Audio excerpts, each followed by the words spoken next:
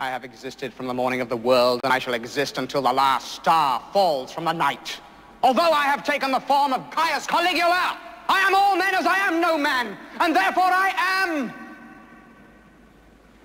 a god.